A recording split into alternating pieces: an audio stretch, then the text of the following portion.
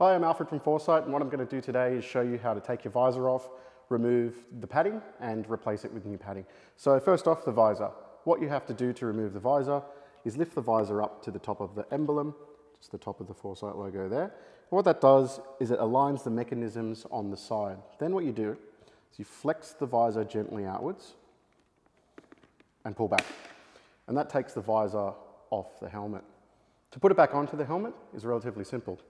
What you do is you line both sides of the visor together, you push in gently, and you squeeze forward until the visor is back on the helmet like so.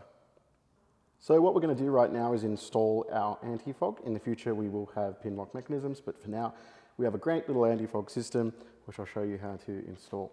So what you do is you peel your anti-fog part off gently be careful, these are really sticky.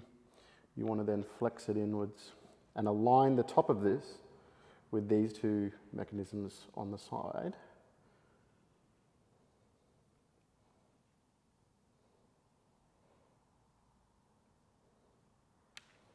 Like so.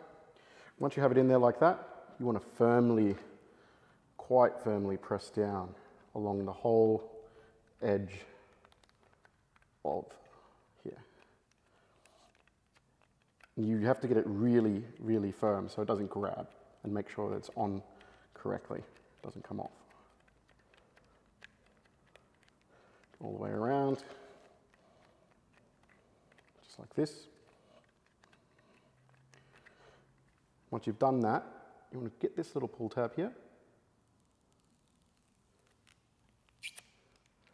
and peel off the anti-fog like that. Give it another push just around the edges, make sure it doesn't grab.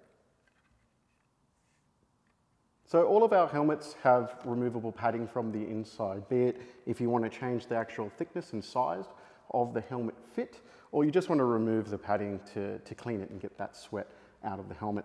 Our liners are made of uh, bamboo uh, on the inside. It's antibacterial, so they are really good at absorbing um, sweat and that heat when you go for a ride. So to remove the padding, what you need to do is first of all, gently remove the chin curtain like so. Um, you'll notice on the side here, there's two tabs. These are emergency pull tabs. We probably don't want to pull them to take this out, just in case we do have an emergency accident. We want to keep them nice and secure. So I'm going to reach in and just unplug the padding like so. And you'll see on the back of the padding itself, some little notches and the measurement of what thickness this padding is. So let's pretend we've got some new padding and we want to put that back in then. What we do is we start at the leading edge at the end. We gently push this back into the helmet just underneath here. Push back in so it's nice and flush. And then what we do is we pull the strap through, we reach in, and we press in each of these little dongles, and we're good to go. And that's essentially how you change the padding on your Forcite Mark 1 helmet. There's a few mechanisms on the helmet you need to know about. So just on the side of the helmet here, there is a little latch, and if you push this forward, there's an internal sun visor inside the helmet, as you can see there. Push it back towards the back of the helmet, and that visor is retracted back up into the helmet. One really key mechanism you need to know about are the visor mechanisms on the side. So once again, removing the visor like so. And then on the side, you can see this visor mechanism here. There's actually a little latch just on the edge. If I push that in, the visor mechanism will slide out. Sometimes these can slide out if you take the visor on and off too abruptly or too harshly. To slide it back on, you simply slide it over those two little ridges, make sure the spring is in there, and then click, and then pull that part back. And just like that, you'll be able to put that visor mechanism back onto the helmet if it does come off. So putting the visor back on again, like so, rolling it forward. Now that the visor is back on, we can talk about some vents. So there's two vents at the top, can be controlled by just pushing these backwards and forwards to open and close them. On the back, you can have an adjustable spoiler. On the front here, there are two vents. To access those vents, it's actually on the underside or the inside of the helmet. You can feel with your fingers two little sliders. So you'll be able to open and close those vents from the inside. If you're recording video and you want the minimum amount of wind noise on your voice, I suggest closing those vents before going out for a long ride. And that pretty much sums up all the mechanisms that are on the helmet at the moment. This one's a little bit of a bonus round. I'm gonna clean a helmet and show you how to maintain it correctly. So I've got two products here um, that I picked up from a local store. One is helmet sanitizer. You can never be too unsafe. You shouldn't let other people wear your helmet. Um, and the other one is some Motul Wash and Wax Spray. I've got two types of chamois, one a little bit coarser, one a little bit smoother. So the first thing you do is you want to shake this. You could apply it onto the, the chamois first, use the thicker one.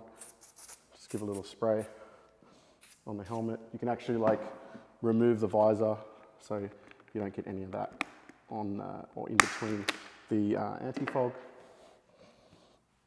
And just give it a good once over. You want to be careful of the camera system just at the front. You don't want to get polish on that too much because you'll have blurry uh, footage. Just like that.